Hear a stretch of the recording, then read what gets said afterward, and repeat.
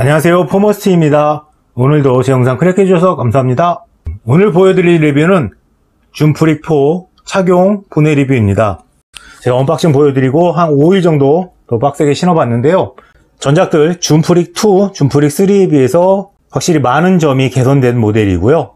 이번에는 2나 3보다는 훨씬 더 좋은 성적을 기대해도 괜찮지 않을까 싶은 모델이었습니다.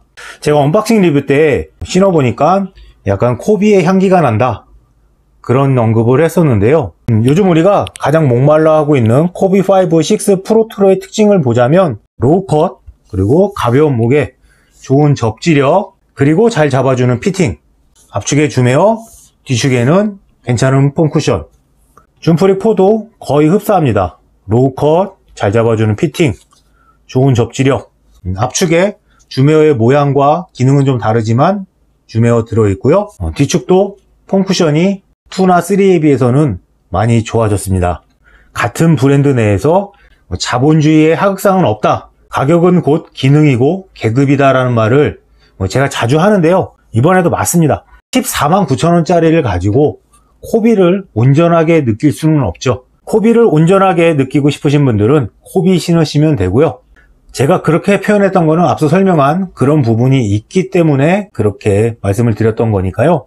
너무 또 민감하게 이게 무슨 코비야 라면서 받아들이지 않으셨으면 좋겠습니다. 그리고 전작에 비해 나아진 점은 미드솔의 쿠션만이 아니고 미드솔의 모양과 아웃솔의 넓이에서도 느껴졌는데요. 3 같은 경우는 이 부분이 너무 급격하게 좁아지기 때문에 발이 지면에 닿는 부분이 앞축 같은 경우는 많이 넓지만 뒤축은 상당히 좁은 편이었는데요. 어, 사탄은 앞축은 그대로이면서도 뒤축은 더 많이 지면에 닿게 만들어 놨기 때문에 3탄보다는 훨씬 더 안정적이게 느껴졌습니다. 그리고 3탄 같은 경우는 이 에어 여기 써 있는 부분만 Zoom Air pod이 살짝 보이는 정도이지만 4탄 같은 경우는 조금 더 많이 노출을 시켰는데요.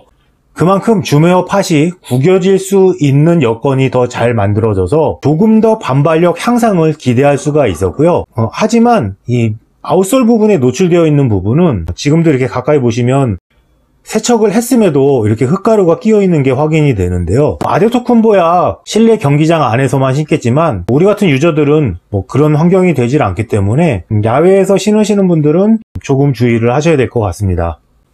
이 줌웨어 팟에 대해서 제가 조금 부연 설명을 드릴 게 있는데요. 보통 일반 줌웨어는 쿠션의 세 가지 역할, 충격 흡수, 반발력, 체감 중 체감에서 가장 좋은 효과를 발휘한다라고 생각을 하는데요. 보통 줌웨어 자체가 뭐 8mm, 뭐 10mm 정도의 두께를 가지고 있기 때문에 사실 충격 흡수나 반발력은 없는 것보다는 훨씬 낫지만 그렇다고 해서 막 월등히 큰 효과를 누리기에는 조금 힘듭니다. 그래서 나이키에서는 뭐 앞뒤로 사용된 Zoom LeBron 2, 3나 전장으로 사용된 Zoom LeBron 10 등 두꺼운 Max Zoom Air라는 것을 사용을 하는데요. 어, 그렇게 되면 뭐 체감부터 반발력, 충격 흡수 모두 좋아지지만 가장 큰 문제점은 내구성이고요. 그리고 생산비 상승에서도 큰 영향을 미친다고 봅니다. 어, 그래서 요즘 나이키가 그 다음으로 내놓는 게 Zoom Air pod인데요. Tempo NXT 모델로 보여드리면서 설명을 이어가겠습니다. 이 면적이 작은 Zoom Air pod에 두께를 높였고요. 그리고 내구성을 위해서 비교적 두꺼운 TPU를 사용을 했기 때문에 Zoom Air pod은 일반 Zoom Air에 비해서 체감이 떨어집니다. 어, 대신 충격 흡수와 반발력을 극대화시키는 거죠. 그래서 이렇게 눌러만 봐도 Zoom Air가 어떻게 반응을 하는지가 바로 눈으로도 보이고 신었을 때 체감으로도 가능한데요. 그래서 Alphafly나 Tempo Next 같은 고급 러닝화 그리고 슈퍼랩에도 요새는 이런 줌웨어 팟이 사용되고 있는데요. 어, 줌프리 4도 이왕 노출시킬 거 그냥 완전히 이렇게 다 드러내진 않아도 한 이만큼까지 이렇게 드러냈으면 조금 더 효과가 좋지 않았을까라는 생각이 들더라고요. 그래도 이 줌웨어 팟이 가진 반발력을 충분히 느낄 수가 있었는데요. 사실 실제 농구 경기를 하다 보면 경기에 집중을 하기 때문에 뭐 신발이 어떻게 느껴지는지 사실 잘 모르는 경우가 더 많습니다. 그래서 신발을 오롯이 느끼고 싶을 때는 사실 농구 경기보다는 경기 전 워밍업 시에 천천히 러닝을 해보시면 이 Zoom Air pod의 용도를 잘 느끼실 수 있을 겁니다. Zoom Air는 곧 체감이지 라고 생각하시는 분들은 Zoom Freak 4보다는 자이언 2나 조던 One Take 3를 신으시는 게 Zoom Air를 훨씬 더 잘 느끼실 수 있으실 겁니다. 이 옆부분 이렇게 크게 Swoosh를 올려놨던 이 부분은 어, 사실 지지력에 있어서 큰 도움을 줬다? 그렇게 말하기는 좀 힘들 것 같고요. 이 자체가 이렇게 유연하기 때문에 대신 이렇게 밖으로는 조금 버텨주는 힘이 있어서 조금은 도움이 되겠지만 막 드라마틱한 효과까지는 없었고요. 그리고 제가 느낀 줌프릭 4의 단점은 이 줌에어팟을 압축에 넣는 신발들은 모두 압축의 높이가 높습니다 그래서 뒤축도 낮지 않지만 오프셋이 그렇게 많이 없고요. 어, 그리고 슈이님은 망고 잘라놓은 거라고 표현하시던데 어, 이렇게 와플 패턴으로 만들어 놓은 미드솔은 확실히 말랑한 쿠션에 도움이 되기는 했지만 제가 전에 자이언2 리뷰 때 뒤쪽 Air Strobel이 그대로 노출되어 있어서 insole 위로 그대로 느껴진다라고 말씀을 드렸었는데요. Zoom Freak 4도 오래 신다 보면 이 insole 위로 이 갈라진 모양이 느껴지더라고요.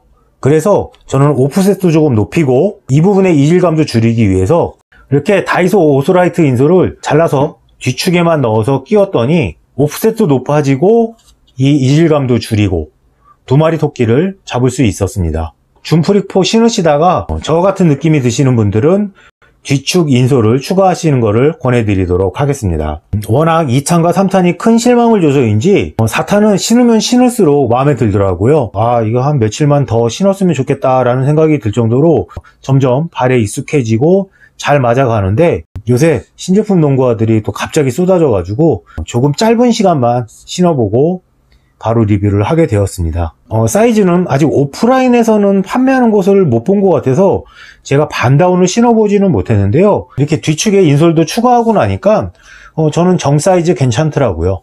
그래서 사이즈는 정 사이즈로 권해드리도록 하겠습니다. 그리고 outsole의 내구성도 뭐 특별히 XDR 아웃솔이 사용되지는 않았지만 어디 크게 닳거나 갈라진 데 없이 준수한 내구성을 가지고 있는 것 같습니다. 자 여기까지 제가 줌프릭4 가지고 착용했던 느낌 말씀드렸고요. 어, 신발 분해해서 안에 보여드리면서 줌프릭 3와 한번 비교를 해보도록 하겠습니다.